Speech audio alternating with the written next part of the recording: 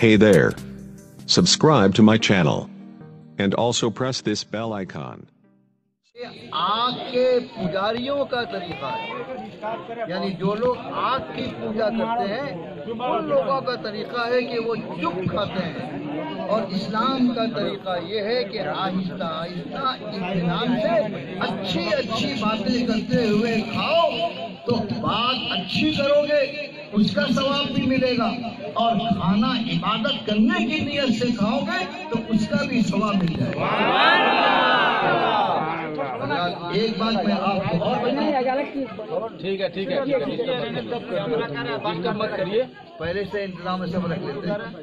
حضرات اور ایک چیز میں آپ کو بتاؤں۔ ہمارے آقا نے فرمایا کہ باتیں کرتے ہوئے کھاؤ۔ آہستہ اطمینان سے کھاؤ۔ عام طور سے کچھ ایسے لوگ آپ کو ملیں گے کہ جو بڑے بڑے نوالے منہ کے اندر بھر دیتے ہیں۔ اور دونوں گال ان کا پھول جاتا ہے۔ لیکن ہمارے آقا نے کیا فرمایا؟ نوالے چھوٹے لوگ اگر ہو سکے تو تین انگلیوں سے نوالا اٹھاؤ۔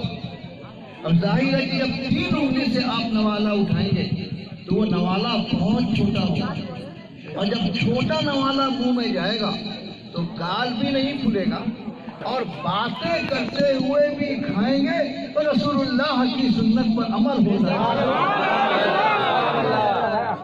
اور ایک بات آپ سماعت فرما لیجیے یہ وقت نہیں ہے کہ میں آپ کے سامنے تفصیلات رکھوں ورنہ میں کھانے پر اگر تفریح کروں گا تو پوری رات ختم ہو جائے گی۔ مگر اس کھانے کے تعلق سے مسائل پورے طور پر بیان نہیں ہو پائے گا۔ حضرات کھانا کھائیے آپ۔ کھانا کھانے سے پہلے آپ کے لیے حکم دیا گیا ہے کہ پہلے آپ دسترخوان بچھائیے۔ بہت سارے گھروں میں دسترخوان بچھانے کا، دسترخوان ڈال کے کھانے کا رواج نہیں ہے۔ اور خاص طور سے اس معاملے میں عورتیں بہت لاپرواہ ہوتی ہیں۔ جہاں جاتی ہیں، جیسا جاتی ہیں، کھا لیتی ہیں۔ کبھی کبھی پکاتے پکاتے بھی کھا لیتی ہیں۔ کبھی کبھی کچن کے اندر ہی کھا لیتی ہیں۔ جس طرح سے چاہتی ہیں ویسے ہی کھا لیتی ہیں۔ مگر آقا صلی اللہ علیہ وسلم نے فرمایا ہے کہ جب بھی کھانا کھاؤ تو دسترخوان بچھا کے کھاؤ۔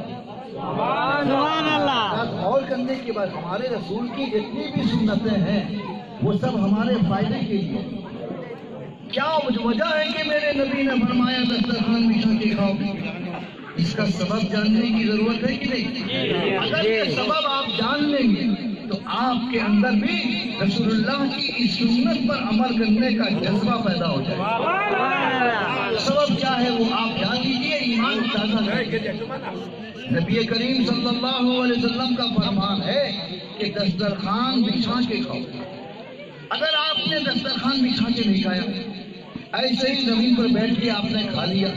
کھانا کھاتے وقت میں کوئی دانا گوشت کی کوئی بوٹی دال کا کوئی دانا چاول کا کوئی دانا روٹی کا کوئی ٹکڑا۔ اگر نیچے زمین پر گر جائے گا تو بولیے آپ کی طبیعت کیا گوارا کرے گی کہ اس کو کھا کے کھائے؟ نہیں۔ لیکن اگر دسترخوان صاف ستھرا دسترخوان بچا ہو اس میں کچھ بھی گر جائے گا تو آپ اٹھا کے کھا لینے میں کوئی جھجک محسوس نہیں کریں گے اب میرے نبی کا فرمان سن لیجیے سرور کائنات نے فرمایا ہے کہ آپ جو کھانا کھاتے ہیں، پلیٹ میں جتنے دانے چاول کے آتے ہیں، روٹیوں کے جتنے ٹکڑے ہوتے ہیں، کوئی ضروری نہیں ہے کہ ہر دانہ برکت والا ہو۔ کوئی ضروری نہیں ہے کہ ہر ٹکڑا برکت والا ہو۔ ہو سکتا ہے کہ پورے کھانے میں ایک ہی دانہ برکت والا ہو سکتا ہے کہ پوری روٹیوں میں روٹی کا کوئی ایک ٹکڑا برکت والا ہو اور وہی گزر دسترخوان بچھا کے نہیں کھایا تو اٹھانے میں کراہٹ معلوم ہوئی آپ کو۔ آپ نے نہیں کھایا۔ لیکن اگر دسترخوان بچھا کے کھائیں گے تو اگر روٹی کا ٹکڑا، چاول کا کوئی دانا گوشت کی کوئی روٹی گر جائے گی۔ آپ اس کو اٹھا کے کھا لیں گے۔ تو اس کا فائدہ کیا ہوگا؟ کھانا بھی آپ کھائیں گے، آپ کے پیٹ میں کھانا بھی جائے گا۔ اور اللہ کی برکت بھی جائے گی۔ اس لیے میرے نبی نے فرمایا، دسترخوان بچھا کے کھاؤ۔ اگر دسترخوان کے اوپر کوئی دانا کوئی ٹکڑا روٹی کا گر جائے، اس کو اٹھا کے کھاؤ۔ کھانے کا فائدہ کیا ہوگا کہ برکت بھی آپ کے پیٹ میں جائے گی۔ آخری بات سنیے زندگی۔ تو پھر ملاقات۔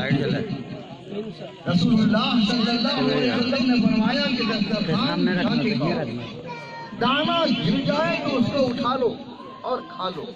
اس کے فائدے کیا ہیں؟ اس کا تین فائدہ ہے۔ پہلا فائدہ یہ ہے کہ جو بندہ دانا اٹھا کے کھا لے وہ تین چیزوں سے بچ جائے۔ گا پہلی چیز کیا ہے محتاجی سے بچے گا۔ سبحان اللہ محتاجی سمجھتے ہیں؟ غریبی کسی کے سامنے ہاتھ پھیلانا ہمارے پاس مال نہیں ہے آپ کے سامنے ہاتھ پھیلایا گیا۔ کھانا نہیں ہے دانا کے لیے ہاتھ پھیلایا گیا۔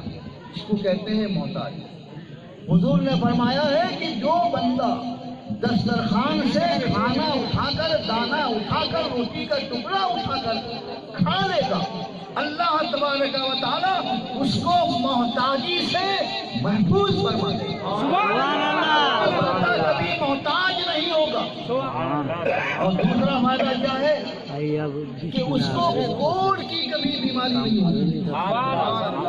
کوڑ کی بیماری بہت خطرناک بیماری ہے جس سے لوگ نفرت کرتے ہیں۔ ہاتھ یوں انگلیاں یوں ہو جاتی ہیں۔ جو بندہ دسترخوان سے کھانا اٹھا کے کھا لے گا اللہ تبارک و تعالیٰ اس کو جزام اور کوڑ کی بیماری سے محفوظ کر دے گا۔ سبحان اللہ۔ اور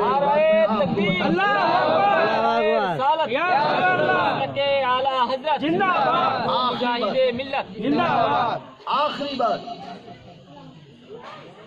آپ لوگوں میں بہت سارے لوگوں کی شادیاں ہو چکی ہوں۔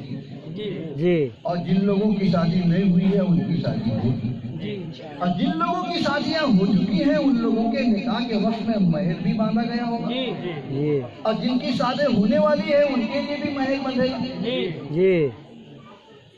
یہ دنیا کی عورتیں ان عورتوں سے نکاح کرنے کے بعد نکاح میں مہر باندھا جاتا ہے۔ انشاء اللہ تعالی ہر سنی مسلمان کل قیامت کے دن جنت میں جائے گا۔ سبحان اللہ اور جنت میں جائے گا تو وہاں جنت میں حوریں ملیں گی۔ سبحان اللہ۔ یہ دنیا کی جو عورتیں ہیں ان عورتوں میں بہت سارے عیب ہیں۔ مثلا پہلا عیب یہ ہے کہ یہ عورت آج جوان ہے کل بوڑھی ہو جائے گی۔ دوسرا عیب یہ ہے کہ یہ آج زندہ ہے کل مر جائے گی۔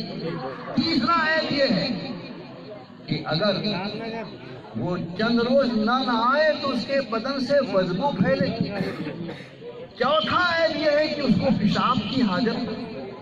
پانچواں عیب یہ ہے کہ وہ پیخانہ بھی کرے۔ چھٹا عیب یہ ہے کہ اس کو ہر مہینے میں ناپاکی بھی ہو۔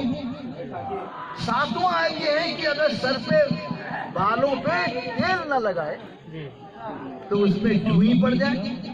اسی طرح اگر آپ دیکھیں گے تو طرح طرح کے عیبوں کا مرکز ہے آپ عورت۔ اور اس عیب والی عورت سے جب آپ نکاح کرتے ہیں تو آپ کو مہر ماننا پڑتا ہے۔ اب رہ گیا جنت۔ اور جنت کی حوریں یہ جو جنت کی حوریں ہیں، یہ ایسی ہیں کہ ہمیشہ جوان رہیں گی کبھی بوڑھی نہیں ہوگی۔ یہ ہمیشہ زندہ رہیں گی کبھی نہیں مریں گی ان کو حیض نہیں ان کو نفاس کا خون نہیں ان کو پیشاب پیخانے کی بھی حاجت نہیں ہوگی۔ اور وہ اتنی خوبصورت ہے کہ زمین پہ اگر جھانک لیں تو پوری زمین روشن ہو جائے۔ اور ان کے جسم سے مشک و عمبر کی خوشبوئیں پھیلیں۔ یہ عیب دار عورتیں جب نکاح میں آتی ہیں تو ان کے لیے مہر ہے۔ پھر جنت کی حوریں جو ہم جنتیوں کو ملیں گی۔ ان کے لیے بھی کوئی مہر ہونا چاہیے کہ نہیں؟ ان کا مہر کیا ہے؟ وہی مہر آپ جان لیجیے میرا یقین ہے کہ اگر آپ نے سمجھ لیا تو آج سے آپ خود بھی اور اپنے گھر والوں کو بھی یہ ضرور سبق پڑھائیے گا کہ جب بھی کھانا کھانا ہو تو ضرور دسترخوان بچھا کے کھاؤ اور دسترخوان میں کچھ گر جائے تو اس کو اٹھا کے سبحان اللہ۔ دنیا کی جو عیبدار عورتیں ہیں ان عورتوں کے لیے محل دنیا کی دولت ہے۔ اور پرانے جنت کے لیے محل کیا ہے؟ نبی کی سنت۔ ہے نبی کی سنت کیا ہے؟